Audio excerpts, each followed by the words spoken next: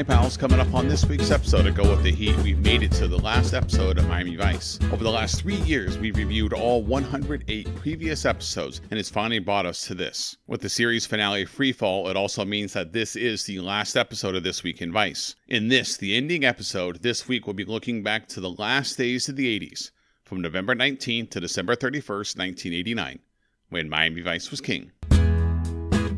In news, on December 3rd, Soviet General Secretary Mikhail Gorbachev and U.S. President George Bush declared the Cold War over. The two met just a few weeks after the fall of the Berlin Wall at the Malta summit, and the two countries' relationship warmed leading into the Gulf War. In TV, on December 17th, a little animated show called The Simpsons aired on Fox, and I'm sure no one's heard of it since.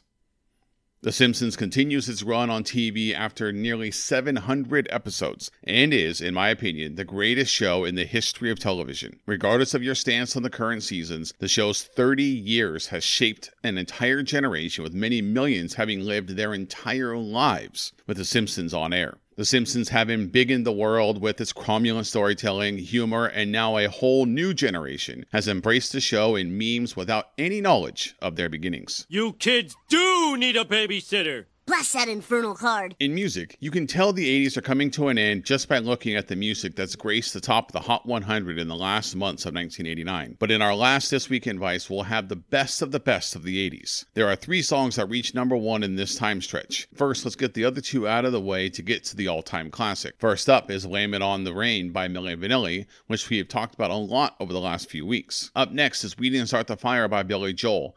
From the album Stormfront, this was one of three number ones on the album. But there is no way we end the 80s and This Week in Vice without talking about Phil Collins one more time. From the multi platinum album, but seriously, is Another Day in Paradise. The song would win a Grammy for Record of the Year and is one of Collins' biggest hits. The album featured several classics, including I Wish It Would Rain Down and others. Another Day in Paradise would be Collins' last Hot 100 number one, and I can't think of a better way to end This Week in Vice than with one of my favorite songs from the 80s from one of the decade's most prolific artists.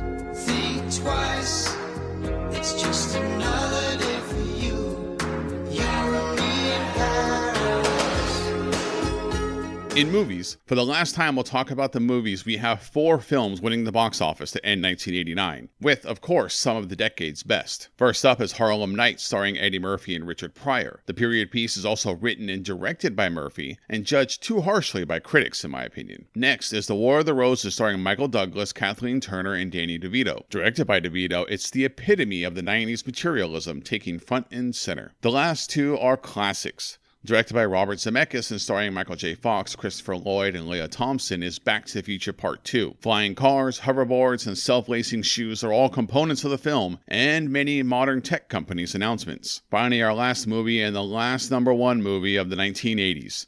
Starring Chevy Chase, Beverly D'Angelo, and the rest of the Griswolds is the timeless holiday movie National Lampoon's Christmas Vacation. The movie is synonymous with Christmas and a tradition for millions of households every year. And that's everything you need to know that was happening when Miami Vice was king. Be sure to join us on Go With The Heat at GoWithTheHeat.com for our look at the final episode of Miami Vice. I'd like to thank each and every one of you that's been with me on this journey. I'm happy I've been able to relive so many amazing memories from the greatest decade of the 20th century. I've had a lot of fun covering these 108 episodes, and I'm sad to say goodbye. I'd love to hear from you. Email the show, gowiththeheat at gmail.com, or follow us on Twitter at GoWithTheHeat. That's all for the 80s and for me, officially signing off this week in Vice. Bye, pals.